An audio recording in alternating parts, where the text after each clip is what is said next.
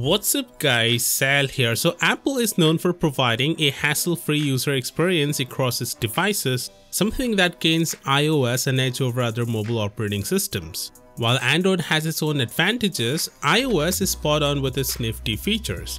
One of these features is AirDrop that is useful when you have to share files between Apple devices. Not just between iPhones, but you can share files wirelessly between any Apple devices including their MacBooks, phones, iPads and more. Samsung, which relies on Android as an ecosystem on its smartphones, has finally come up with its answer to AirDrop with the Galaxy S20 last year. Called QuickShare, you can wirelessly send any file between Galaxy smartphones. But the problem was with QuickShare, you still cannot send files between a PC and a smartphone. So there wasn't a stopgap solution for wireless file sharing between your smartphone and PC in the Android world. But that finally changes today at the Unpacked event where Samsung has officially brought QuickShare to their laptops, ending years of frustration of Windows users. I mean with Windows, it's a pain to transfer files from phone to PC. The data cable always went missing the day we need the most, and we always end up sending files over email or Google Drive almost all the time.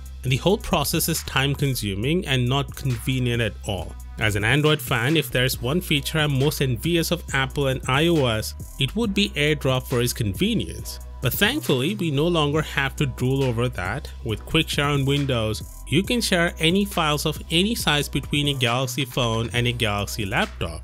Now, just like Apple, only Samsung users will be able to take advantage of this. It seems this is only limited to Galaxy laptops and Galaxy phones for now, and I'm not quite sure if Samsung makes this available to all Windows users including desktops. I guess time will tell.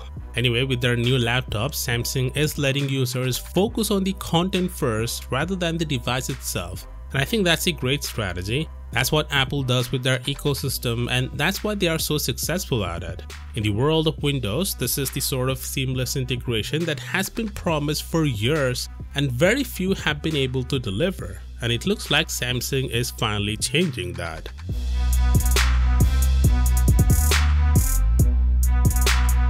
Samsung just had an amazing quarter. They've announced their earnings for Q1 2021, reporting a jump in revenue and operating profit. The revenue was $59 billion with $8.46 billion in profits in three months. The profit is actually 45% higher compared to the same period last year and 4% higher compared to quarter 4 of last year. Their smartphone division contributed to the increased profit, notably the Galaxy S21 as well as the Galaxy A range of devices.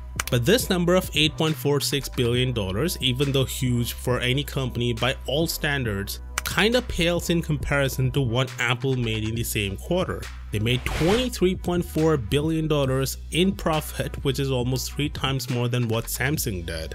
The real driving force of this growth was the iPhone 12 lineup, which is seeing a purchase super cycle. Their sales doubled in China and the addition of 5G helped make it happen as more Chinese are upgrading to 5G phones. And overall, there is a pent-up demand since more and more employees and students are conducting their work at home.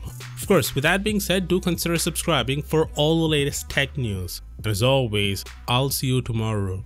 Peace out.